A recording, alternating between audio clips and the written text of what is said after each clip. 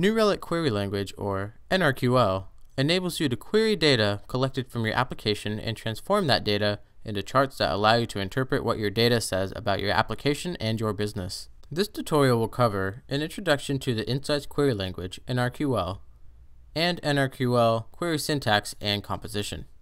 NRQL is a database querying language similar to SQL. It queries against the events database, allowing you to create charts with data about your applications. Once you make a query, data comes back in a JSON format, which the Insights widgets use to make meaningful charts.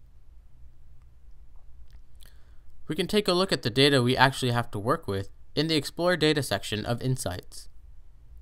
From here, we can see a list of all the events that we collect data for. If your app is connected to New Relic through APM and browser, then you should see page view and transaction events. When we click on an event, we can see a detailed list of all the attributes or data that was collected and sent to New Relic. It is important to know what attributes are recorded in your Insights account so you can write useful and meaningful queries using all the data you have available. You may find it helpful to brainstorm some questions you want to ask in Insights before diving into NRQL query or event query writing. For example, I want to know, how many total sessions have there been on my site? What city are my users coming from? What transactions occur most frequently? How long does it take for pages to load for users? Is backend or frontend browser response time taking more time to complete? How many unique visitors did I get to my site from a particular city? Before we start writing our event queries, let's take a moment to talk about NRQL query syntax. As you type out your queries, you'll notice that when we start a query, a list of keywords appears for us to choose from. You can either click on the word you want to use, or use the arrow keys to move up and down on the list and hit the tab key to enter the word in the query tool. These are the suggestions for NRQL clauses, functions, attributes, or events that may fit into that part of the query, based on an event that has already been chosen, or the structure of the query as it is up to that point. The suggestions that come up are not comprehensive, and they are based on the last hour of relevant events based on what data has been sent to New Relic Insights. I'll start with my first question. How many total sessions have there been on my site? Here's a basic query that will give me information about the total number of events that have the session attribute in the page view data table. The first part of a query always starts with the select statement. After the select, we need to choose an attribute or NRQL function that we want to see data about. In this case, I am using count session, where session is an attribute in the page view table, and the NRQL function count will show us the total count of events that have session IDs. After you choose an attribute you want to visualize data for, then the next step is to designate the event that contains data for that attribute. In our example query, we already know the session attribute is in the page view events, so we need to specify that in the query. The select and from statement are required for a successful query. I want to note that attributes are case sensitive, but NRQL statements, clauses, and functions such as from, count, and select are not. Now that we have a complete query, I'll click on the Run button and we can see our query results. And here we have a number. I'm going to add more to this query to get more helpful info, but first, let's review. The basic syntax for queries consists of the following. We select a function or attribute from an event, then we add optional parameters to drill deeper into the data by limiting by time, facets, and comparisons to other attributes. Now let's make our query a little more interesting. We can add additional query clauses to focus our data and drill down to the specifics. A count of all the session attributes in all of the page view events doesn't give us all that much information. Let's add a facet clause to our query, which will divide our total count into buckets based on each individual value for the city attribute.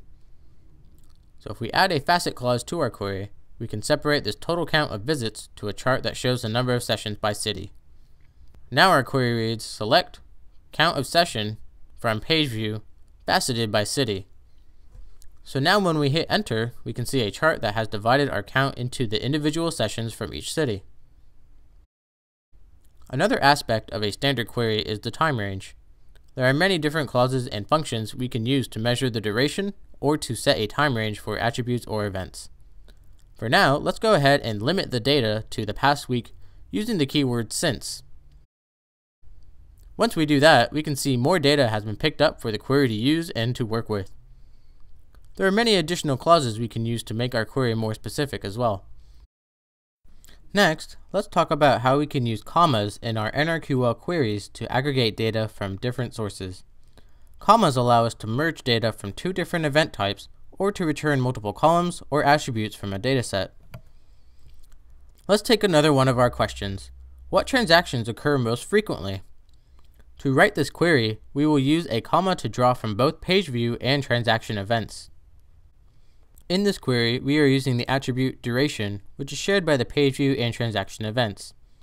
We are also using the average function to see the average duration or response time of the application for the front end to load. We can query and combine our results from both page view and transactions by including both events in the query after from and separating them by a comma. The clause facet by name will break out the resulting data by name and show us the average duration per web transaction or transaction event name. We can also use a comma to merge two or more attributes from an event in a single query to show us the combined data. Let's take a look at another question. Is backend or frontend browser response time taking more time to complete? This query will show the average durations for front-end response time and backend transaction duration from the page view events. Like before, when we combine data from two different types of events, these attributes are separated by a comma, but in this case, because we are combining attributes from one set of events, the page view event, they are listed after the select statement. You'll notice I'm also using the time series function, which will show the average durations for both attributes over the last minute in a time series chart. The time series function is especially valuable and useful because all New Relic data is based on events that occur over time. The time series function allows you to view how your data is changing over a set period of time and displays and updates in real time. Another part of a standard query is the aggregator function. We've already seen the count function quite a bit, so let's take a look at some other functions. Let's start with unique count. While the count function will display every single instance of the attribute you query for, the unique count will go through all the data and throw out any repeat values. This function can help us answer, how many unique visitors did I get to my site from a particular city? This example will return a count for all the individual user sessions, or unique session ID numbers, as opposed to a count for each event that was fired regardless of a unique session ID. So if a user visits a single page multiple times, an event may be fired for each visit within that single session, and unique count will count all of those events fired in that session as one. Next, let's adjust our query to use the uniques function.